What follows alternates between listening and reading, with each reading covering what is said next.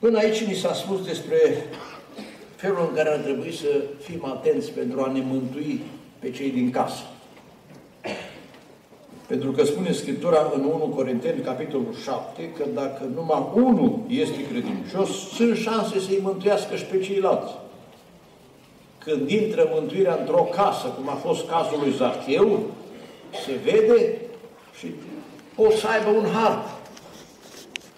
Îmi povestea un frate din județul Timici că i s-a întors la Domnul nevasta. După trei luni s-a întors la Domnul el.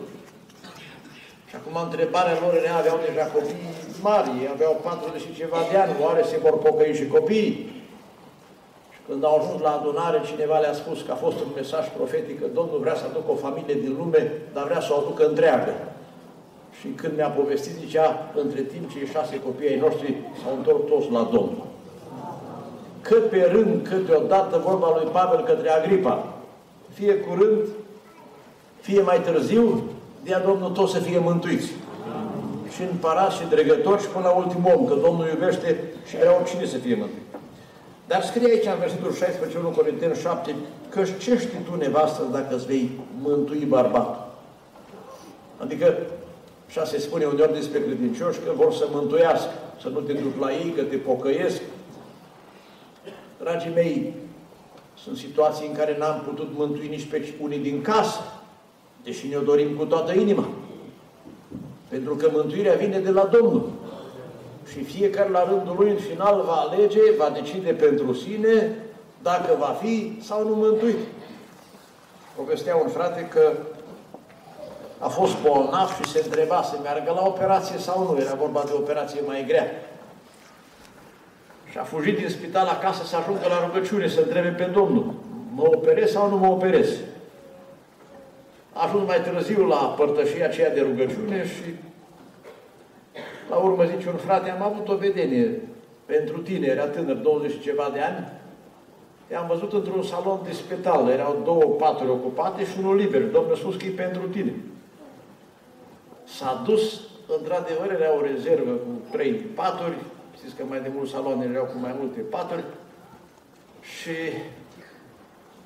el când s-a dus ca și bun credincios, la mâncare s-a rugat, a citit în Biblie, a fost observat și în salon când era vorba de un alt județ în Ardeal, era vremea comunistă, un șef de la un anumit serviciu public și un medic. Și șeful respectiv îi spune, băi, copile, ești obraznic, de ce te rogi aici față de noi, de citești în Biblie, ce e asta? Și uite, dumnealui e medic și nu deranjează. Tu trebuie să-ți faci aici rugăciunile. Și Domnul ne-a dat har fratelui și spune, da, eu nu pot să nu mă rog Domnului. Eu îl cunosc pe Domnul. Domnul mi-a spus că trebuie să trec pe aici. Eu am venit în numele Lui. Și când a lipsit la un moment dat din uh, salon șeful ăsta, medicul îi spune, aud, dă-i pace, dar mie îmi place când te aud cum te rogi. Să-mi faci rost de o Biblie. Și fratele i-a dus Biblia. Și îmi povestea că peste ani, asta a fost cu aproape 30 de ani în urmă, l-am mai întâlnit de două ori prin oraș, prin municipiu, pe acel șef. Și de fiecare dată i-a zis, mie încă nu mi-o sosit ceasul. Acum e bătrân, e pensionar și tot a amânat mântuire. Dar cercetat a fost. Domnul i-a trimis cuvântul acolo în salon. Dragii mei, în această seară Domnul ne-a adunat aici să ne cheme la mântuire. Aș vrea, dacă doriți să deschidem Scriptura în prim plan la Romani, capitolul 10, și să observăm aici, chiar este un titlu, Mântuirea este aproape. Aș vrea să observăm din Scripturi ceea ce eu am numit întrebările mântuirii. Zice Pavel în versetul 1, Fraților, dorința inimii mele și nu numai dorință, că de dorit ne-am dorit tot, să se pocăiască cât mai mult din Lugor, săptămâna asta de evangelizare să fie cu un rod, nu? Dar Pavel continuă spunând, și rugăciunea mea către Dumnezeu pentru israeliți, vreau să spuneți pentru lugojeni, este să fie mântuiți. Așadar să vă ajute Bun Dumnezeu să vă rugați pentru oameni să se mântuiască. Cum uh, am împărțit odată un păstor sarcini în adunare, le-a spus să se roage și să vorbească oamenilor despre mântuire. Și a venit unul la păstor și a spus, frate, eu n-am darul ăsta să vorbesc și nici nu știu ce să spun. Și a zis, dar măi, frate, să te rogi, poți? Păi, asta pot. Bine, atunci facem un angajament în două puncte. Unu, că te rogi pentru vecinii tăi, pentru colegi și nu le vorbești despre Domnul. Și astea amândouă poți să le respect. Dar ce să vedeți? N-a trecut nicio lună și vine și spune vreau să amendăm înțelegerea noastră. Rămân cu punctul de rugăciune, să mă dezleg să le vorbesc. Pentru că cine se roagă pentru oameni va avea și dorința să le spună. Să ne ajute Bunul Dumnezeu, dorința să se materializeze în a le vorbi și rugăciunea să fie la locul ei. O primă întrebare a mântuirii. Au spus-o ucenicii când a vorbit Domnul cu tânărul bogat și după aceea. Matei, capitolul 19, citesc versetul 25. Cine poate atunci să fie mântuit? Cine, repet, poate să fie mântuit? Evreii au crezut că numai ei pot să fie mântuiți, nu? Și când Petru s-a dus și a făcut evangelizare în altă parte, l-au chemat la comitet, am spune noi, la, la Consiliu. Și ai căutat acolo. Te-ai dus la oameni care nu sunt pe lista mântuirii. Însă Dumnezeu i-a vorbit. A mers și chemat și trimis. Și răspunsul avem aici foarte frumos, e trecut și în fapte, Petru de altfel l-a rostit, nu l-a înțeles când l-a rostit, l-a înțeles mai târziu, dar eu o leau din Roman, capitolul 10, ascultați versetul 13. Oricine va chema numele Domnului va fi mântuit. Versetul 12. În adevăr nu este nicio deosebire între iudeu și grec, căci toți au același Domn, care este bogat în îndurare pentru cei ce îl cheamă. Binecuvântat să fie Dumnezeu. Oricine cheamă numele Domnului poate să fie mântuit. O soră o cunosc îndeaproape. Se ruga pentru un frate ei să fie mântuit. A postit. Și când uh, a fost o părtășie de rugăciune, i-a zis, pun un suflet înaintea Domnului. A fost o descoperire printr-un proroc și te rugai pentru un om care era lângă drum, în șanț, acolo căzut, că oamenii sprinși în cursa diavolului, în mocir la păcatului în văile lumea acesteia. Și a zis, Domnul, când trec pe acolo, dacă îmi face semn, un dege să ridice, îi dau mâna. Dar dacă nu dă niciun semn și nu vrea, am ce face. Cine poate să fie mântuit? Oricine va chema numele Domnului. Este scris aici, în versetul 20, Isaia merge cu îndrăzneala până acolo încât zice Am fost găsit de cei ce nu mă căutau, m-am făcut cunoscut celor ce nu întrebau de mine. Adică sunt oameni care caută, cercetează. La noi în biserică s-a întors la Domnul un frate, era ofițer, a venit la adunare mai multă vreme, am abordat de câteva ori cu o listă lungă de întrebări am mai trecut, nu mai țin minte, câteva luni sau un an, doi și până la urmă am văzut că apare pe lista celor care s-au înscris pentru botez. După aceea i s-a pocăit și soția și copilul, sau doi, mai știu exact că s-au plecați în țară. Și Domnul ne-a mântuit pe toți. A căutat.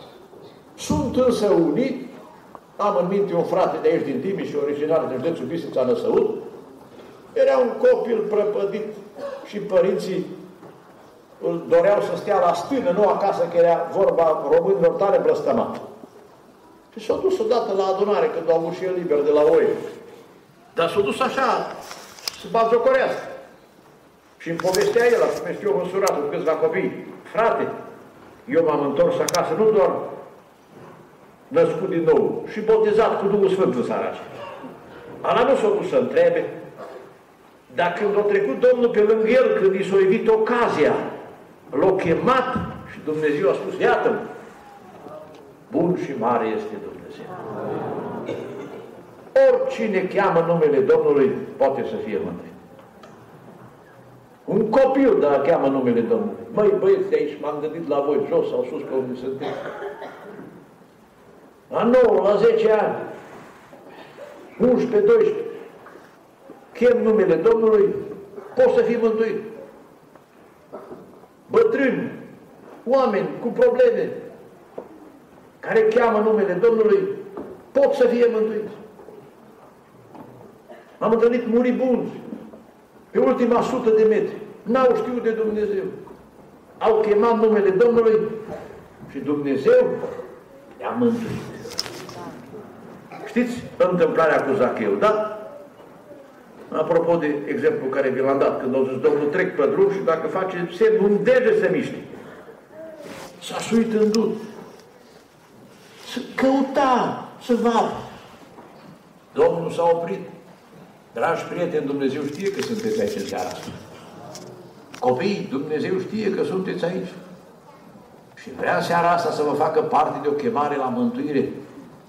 Asta e mare chemare.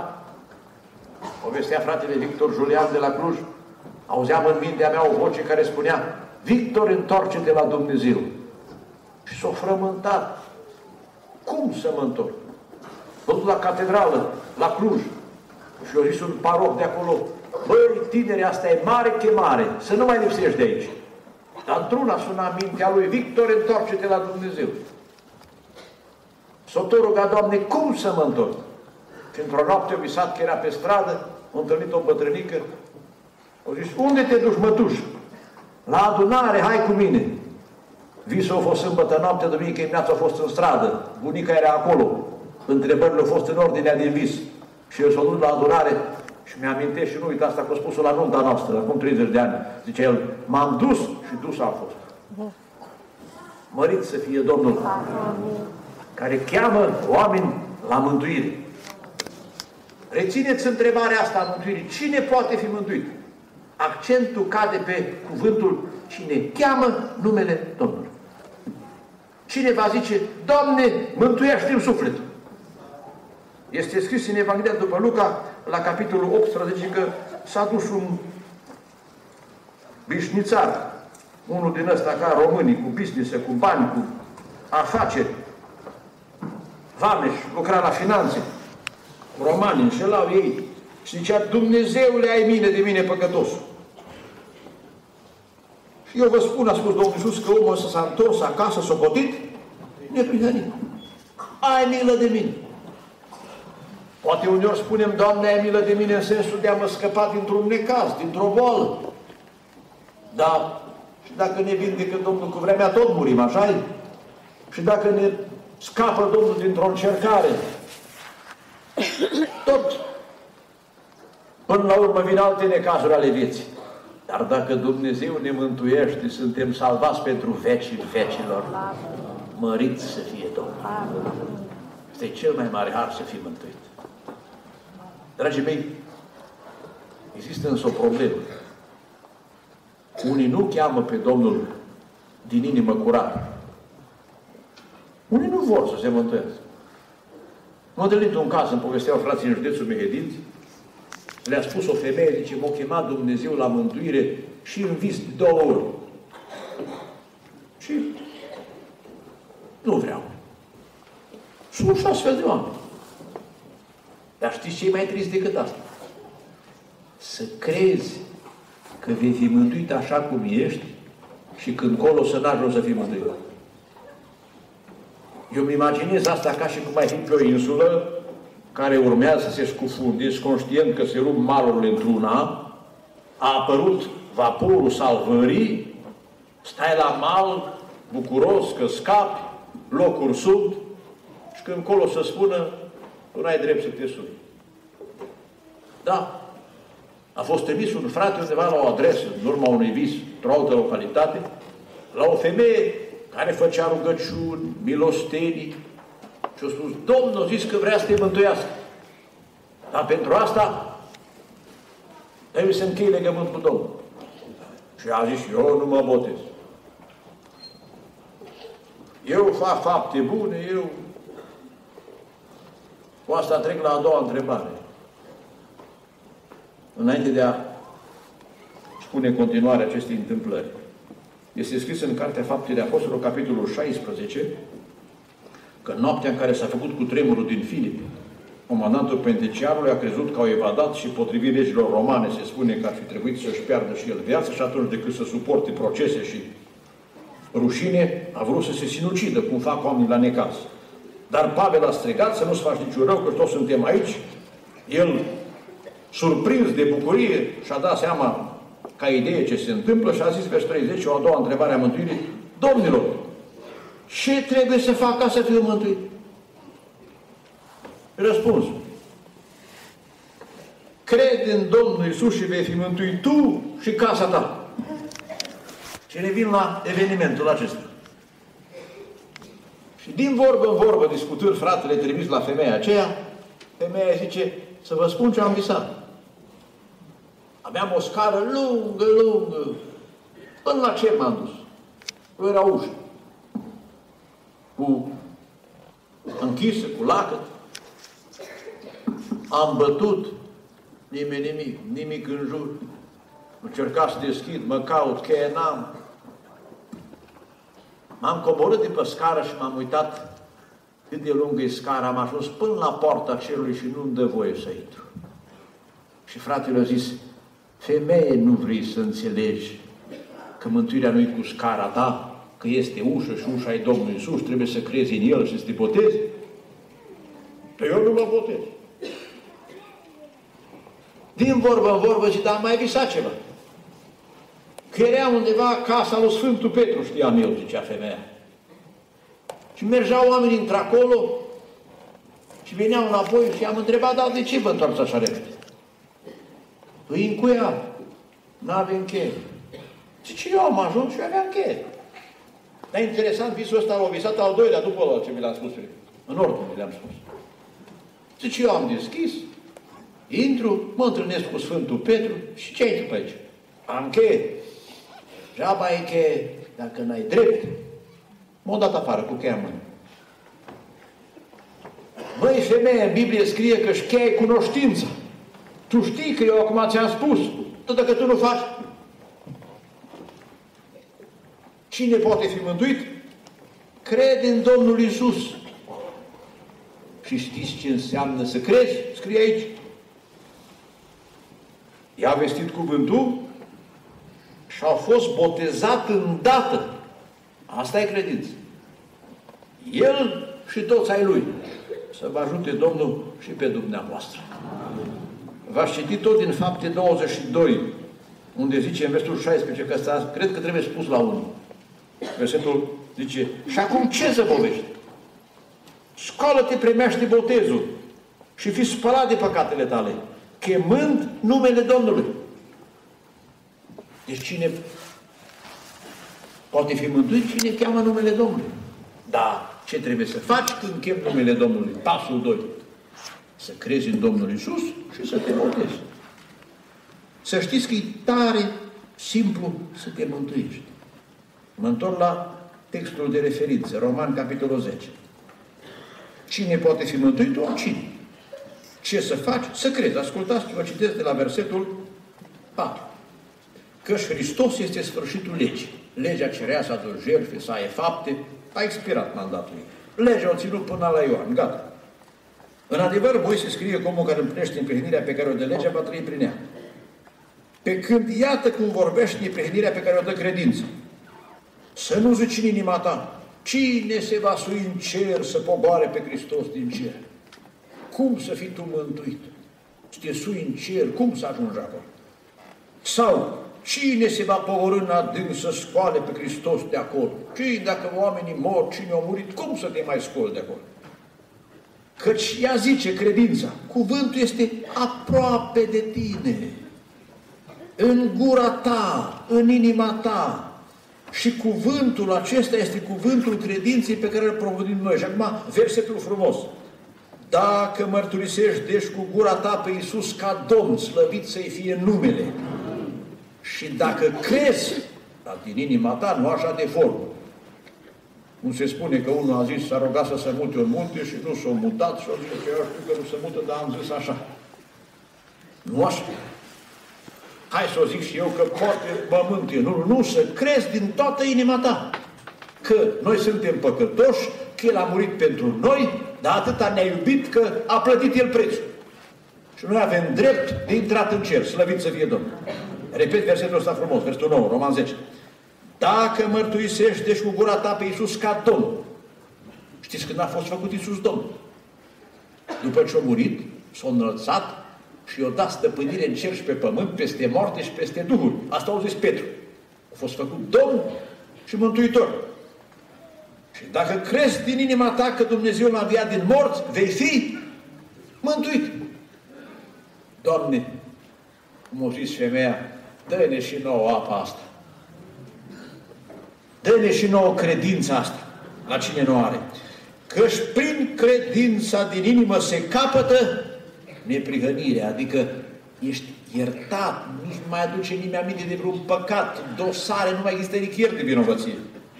Și prin mărturisirea cu gura care se face la botez, crezi, cred, se ajunge la mântuire. Deci cât e de aproape mântuirea? E aici, pe limbă. Numai să zici. Cred ce ar fi putut Dumnezeu să facă mai ușor, mai simplu și mai frumos de așa. Doamne, îți mulțumim că nu ne-ai pus să facem nici mătănii, nici pelerinaje.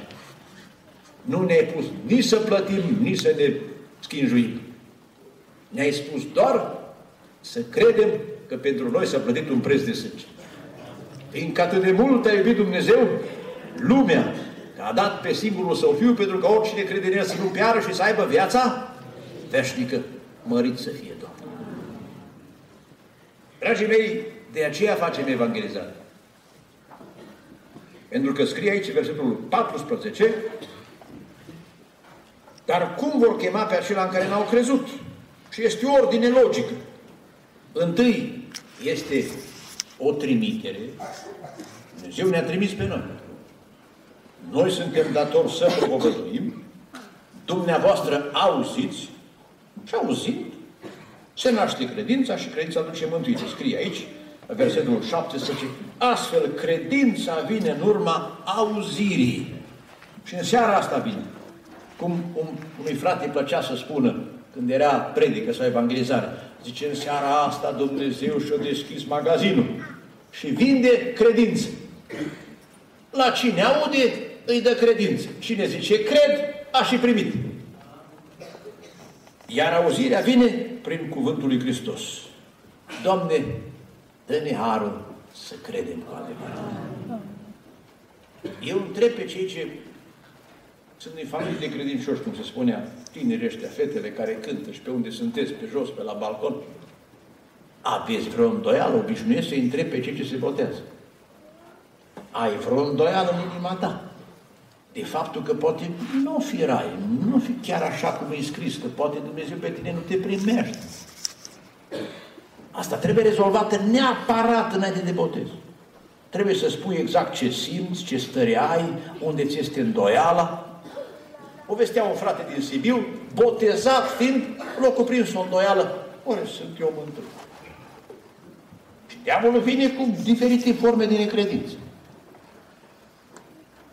Și la o slujbă de adorare se ridică Domnul într-un proroc, ce prorocie scurtă, neînțeleasă, erau aproape să-l judice pe proroc. Așa vorbește Domnul, nu te teme, numele trebuie să scris în cartea vieții. Și frate, de asta e prorocie. Și omul, plângând, cu inima zbătând de bucurie, zice, ăsta a fost pentru mine cuvântul, aștept de multă vreme. Măcar, frate, de acum nu te mai îndoi. Am întâlnit cazul unui surori. M-a sunat noapte la ora 1 și o cuprinsese o stare de desnădejde da, dacă ea nu-i mântuită, că atunci când a fost botezată cu Duhul Sfânt, nu a avut o stare de extaz extraordinară. Dragii mei, noi suntem mântuiți prin credință. Asta înseamnă să fii sigur că Dumnezeu l-a dat pe Domnul și pentru tine. Dar am ce am lămurit întâi? Că oricine îl cheamă, poate fi mântuit. Cum? Prin Domnul Isus. Și El a murit pentru toți. Și a întins mâinile de bunăvoie, cum zice în Isaie, prea puțin să ridici numai semințiile lui Israel. De aceea te pun să fii lumina neamurilor, mărit să fie Domnul. Și-au adus aminte de noi, slăvit să fie în vecii veci. Dumnezeu iubește pe toți. Am niște prieteni care misionează în Guinea Bissau. E în coada clasamentului țărilor curent electric numai în capitală. Sărăcie, când ne-au arătat niște imagini de acolo, o mașină arată așa ca o căruță, nu vorba de geamuri la ea sau de verificare tehnică. Stau pe ea cât în cap. Cât ținea mai mult deasupra, așa, sagați, așa cum sunt trenurile în India, dacă ați văzut vreo imagine, nu știu că unii sunt mai mult în tren sau pe tren. Nu-s regulă ca în lumea civilizată. Populații mari. Și frații de acolo, acum cum soția este bolnavă și cum prietenii ăștia țin legătura, tot mereu au sunat să întrebe ce face sora. Când o să mă întâlnesc eu cu ei să le mulțumesc sau nevastă mea? În rai la Dumnezeu. Dumnezeu mântuiește în cea mai săracă țară, mântuiește în America, mântuiește la Polul Nord. Ne-a povestit fratele Cornel Nistor când a fost la sfârșitul anului trecut în Londra, cum le place lor să misioneze în Uniunea Sovietică, S-au dus pe râul Enisei, undeva pe la mijlocul Siberiei, spre nord. Nu se poate merge cu alt mijloc de transport numai cu vaporul. Mergi câteva ore cu vaporul, de acolo pe afluenți, cu ceva embarcațiuni mai mici. Și ne-au arătat imagini dintr-un sat aici, că e uitat de lume, nu știu ce populație, numai vreo 700 de membri are tribul ăla, sau cum să-l numesc, neamul ăla de oameni. Și a venit o apă și le-a dus toate casele. Dumnezeu așa a rânduit, a venit o femeie în vârstă din Norvegia, că tribul a fost descoperit acolo 100 și 200 de ani în urmă de ceva norvegian. Și ea s-a dus pe date istorice și când a văzut ce a întâmplat, s-a întors beata femeie înapoi în Norvegia, după ce a făcut drumurile astea pe Enisei și pe acolo cu bărcile. Și a reușit să mobiliza câțiva patroni, au adunat bani, au chemat un frate de la reședința de district sau ce e acolo județ, au spus, noi sponsorizăm să faci biserică și să reconstruiești tot satul. De asta, ca să vă spun încă una, administrația regională rusească a vrut să facă o recesământ în zona aceea. Și-a trimis un vapor pe durata a câteva luni. Și-a întrebat, de la culte, cine vrea să meargă? Să facă, este un recesământ foarte complex cu date, cu toți, cu colarizare, cu religie. Și până la urmă o luat pe vreo 8 frați, dacă nu greșesc. Era ar fi fost numai de unul, nu știu câte sute de dolari, să meargă cu vaporul tot timpul ăsta. Și au făcut evangelizare, o combinat Dumnezeu evangelizarea asta cu sponsorizarea materială din Norvegia și printre altele, la un moment dat mi-a povestit când dau pe vapor și s-a apropiat un om și a zis eu cântarea asta o știu de când sunt mic. Eu am fugit de acasă, dar mama a fost pocăit. Am auzit cântarea asta. Și o tânără din grupul ăla zice, ia o Biblie. Nu ia o Biblie, că eu am fugit de pocăiți. Și zice, era prorociță. Domnul mi-a descoperit că tu te vei întoarce la Dumnezeu și tu vei predica aici. Și așa au fost. i-a pus Dumnezeu mâna pe inimă și l-a transformat. Și acum, frații, când s-au dus acolo, ne-au arătat imagini, s-au făcut toate casele noi în sat și în capul satului cea mai frumoasă clădire adunare. Dumnezeu vrea să mântuiască din toate neamurile, cum scrie în Apocalipsă. Dar eu am încredere că din, din români vrea să mântuiască mulți. Că nu din toate neamurile la fel de mulți mântuiți. Dumnezeu să-și întindă bunăvoința peste noi. Rețineți așadar aceste două întrebări și două răspunsuri. Cine poate fi mântuit? Oricine ridică mâna sus și spune, Doamne, vreau și eu. Oricine cheamă numele Domnului. Ce să faci ca să fii mântuit? Să crezi. Mântuirea e aici și aici. Eu vreau cum? Domnul Iisus te primește. Crezi? Cred, Doamne. Mărit să fie Domnul. Și mai vin doar cu o întrebare. În final apare și aceasta în Scriptură. Zice în Evanghelia după Luca, la capitolul 13, vă citesc versetul 23. Cineva a zis, Doamne, oare puțin sunt cei ce sunt pe calea mântuirii? Adică, în final, cu oricine se poate mântui. E prin credință, accesibil oricui. Totuși, care sunt cei ce se vor regăsi acolo când se va închide ușa? Vei fi înăuntru sau vei fi afară? Și ascultați răspunsul Domnului. Nevoiți-vă să intrați pe ușa cea strâmtă. Căci vă spun că mult vor căuta să intre și nu vor putea. Cum nu vor putea? Cum să mai intre după ce se închide ușa? Unii vor veni și zice în Evrei, capitolul 4, și eu știu că v-am spus asta, dar vă repet, la noi în Arad, când a venit eu exact acum 20 de ani, am întâlnit pe un bărbat care venea împreună cu soția lui și vine regulat la adunare. La noi sau alte adunări de 20 de ani. Și venea înainte de acea perioadă. E poate cu 2-3 ani mai mare ca mine. Și într-o noapte m-am visat. Era un hol lung cu mai multe intrări, erau adunările cum sunt la Arad și aici mai multe biserici. Și el umbla pe hol. Și am auzit o voce. Evrei 4 cu 1. Să luăm dar bine seama ca ta vreme când rămâne în picioare făgăduința intră în odihna Lui, niciunul dintre voi să nu se pomenească venit prea târziu. I-am spus, Efraim îl cheamă, mamă sau o prorociță am cunoscut. Efraim, ce mă aștepți? O plâns. De tot afară și în ziua de azi. Visul am avut cu vreo trei ani în urmă. Soacra mea a avut un frate. Singurul care a murit nemântuit și la toți s-au pocăit. Și era în spital în Timișoara și l-am trimis pe fratele Avram Veveriță la el. Și știți că fratele are un dar evanghelistic foarte profund. Eu vorbit cu ata patos. Și zice unchiul Ioan, auzi, eu i-am promis la Dumnezeu că mă pocăiesc, că m-a răsturnat cu raba Mureș.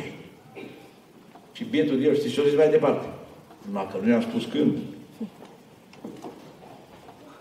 Și-a murit fără să mă apuce să o fac.